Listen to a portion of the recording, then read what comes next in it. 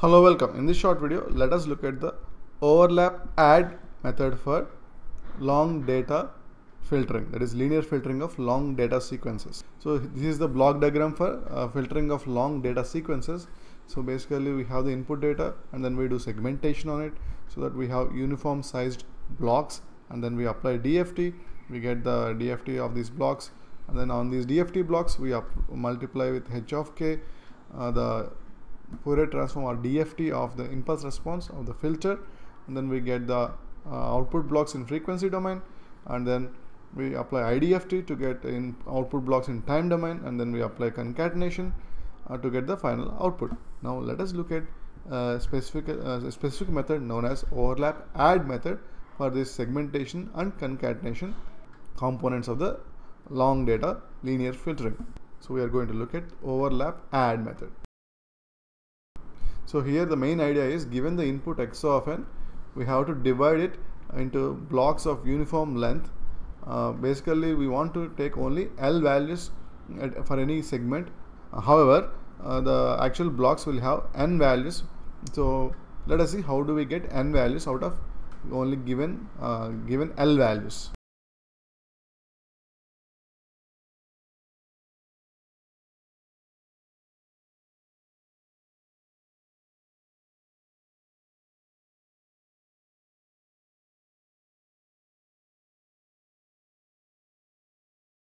So here the segmentation is done as follows. That is we take the first L values we put it in the x1 of n and then we append m minus 1 zeros. So the length is in fact n equal to L plus m minus 1 and similarly for x2 of n we take the next L values from x of n that is from the original data sequence and then we append another m minus 1 zeros. So again x2 of n is also of length n. And for, uh, similarly for the we continue the same process for the next blocks so this is the segmentation process for the overlap add method. That is given x of n and then we append m minus 1 zeros to each block.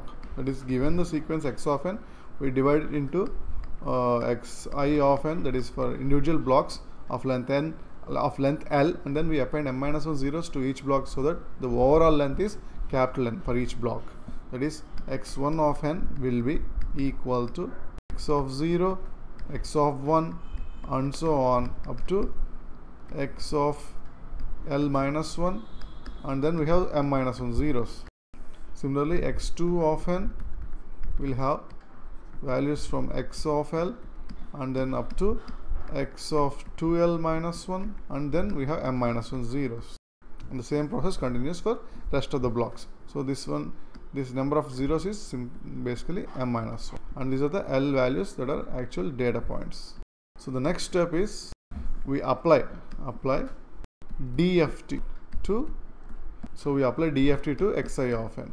That is if we go back to the block diagram of the linear filtering of long data sequences so once we have the input blocks we apply DFT we get xm of k or xi of k. So therefore so it gives us x m of k. And then we apply again the same uh, DFT to the impulse response of the filter and then multiply that to xm of k. So we get our ym of k is equal to h of k that is the frequency response of the filter multiplied by this DFT sequence xm of k. And the values of k are from 0 to n minus 1 now here is the important point regarding overlap add method because x of m that is the original data that is x of n the original data usually has non-zero values. That is it usually has values non-zero values. It could be zeros but usually uh, it has uh, real values. Now we appended m minus 1 zeros to each block. So uh, the influence on uh, y m and hat that is when we have this ym of k we apply idft that is y y m of k we apply idft we get y m of n hat that is the output here it is y m n of hat and then these outputs that is these uh, output blocks in time domain are incomplete. That means uh, to make it complete that is we have to add first m minus 1 values of the next block that is ym plus 1 of n hat to last m minus 1 values of our current block. So because we have zeros appended in x of n that is uh, x1 of n and x2 of n and x3 of n we have zeros appended artificially to make its length equal to n so its influence is that the DFTs that is uh, by m of k are basically incomplete. They do not represent the actual uh, filtered output of x1 of n x2 of n and so on. So to make it actually complete we have to do uh, addition. That is we have to add m minus 1 values the first m minus 1 values of the next block to the last m minus 1 values of the current block. That means it can be explained as follows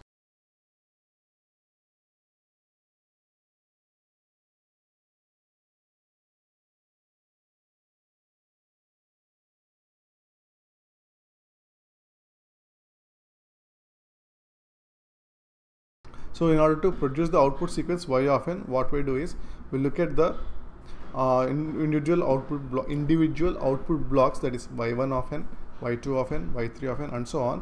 So for the first L values, we put them as it is in the output, but for the next m minus 1 values, we add the last m minus 1 values of y1 of n with the first m minus 1 values, first m minus 1 values of y2 of n, and then we put them in y of n.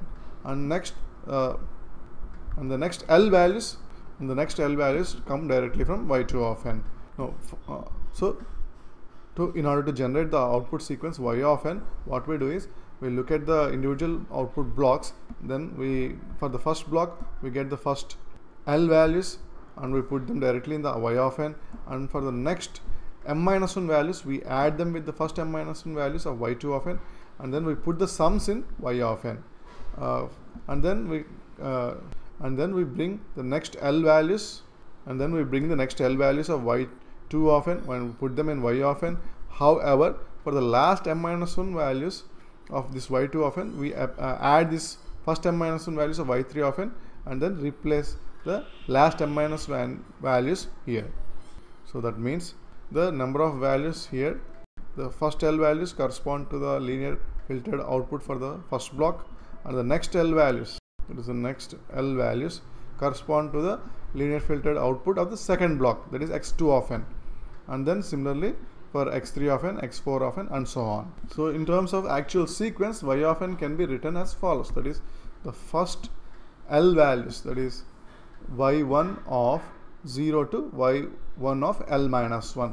So that will be the first L values that is y1 of 0, y1 of 1 and so on up to y1 of L minus 1 and for the next m minus 1 values we have y1 of L that is the value from first block plus the first value from the second block. Similarly y1 of L plus 1 plus the second value from the second block. And so on up to we continue up to y1 of n minus 1 that is the last value of the first block plus y 2 of m minus 1 that is m minus 1th value of the second block. And then for the rest of the values uh, from y2 of m we continue until we have y2 of l minus 1 values. That is we have y2 of m and then we continue until y2 of l minus 1 that is the lth value of y2 and from the next value onwards that is we have y2 of l plus y3 of 0 and so on. So this process continues. That is at this location that is we have y2 of L plus y3 of 0 and then we have uh, more summations until uh, this value until we get to y2 of n minus 1 so and then we continue the process so thus finally we get the output sequence y of n again to summarize uh, we have looked at the linear filtering of long data sequences specifically using the uh, overlap add method. So the main idea in overlap add method is uh, segmentation of the input sequence. That is, we take uh, L values, Uh, each of L values, and put them in separate blocks, and then we append m minus one zeros to each block, so that the length of each block is n. And the next step is we apply DFT to each of these blocks, and then we get xm of k, and then we multiply this xm of k with h of k. That is the DFT of the impulse response of the filter. And then we get the output blocks in frequency domain. That is ym of k. And then we apply IDFT we apply IDFT on ym of k we get our ym of n or ym of n hat. So for this exam for this method that is overlap add method. Ym of n hat or ym of n are actually same. So since we are appending zeros in the inputs that is for the input blocks uh, we have to uh, basically rectify the uh, effect on the output. So in order to do that what we do is we add the first m minus 1 values of the next block of the output to the last m minus 1 values of the current block. That is uh, we take the first m minus 1 values from y2 of n add them to the last m minus 1 values of y1 of n and then we get the values of y of n from uh, L to n minus 1 and uh, then we continue the same process for the rest of the blocks. That is uh, for the first L values we are direct we take values directly from the first block y1 of n y1 of L uh, that is y1 of 0 to y1 of L minus 1 and for the next m minus 1 values we have y1 of L plus y2 of 0 that is the lth value. Um, that is uh, L plus 1th value to plus the first value of the second block.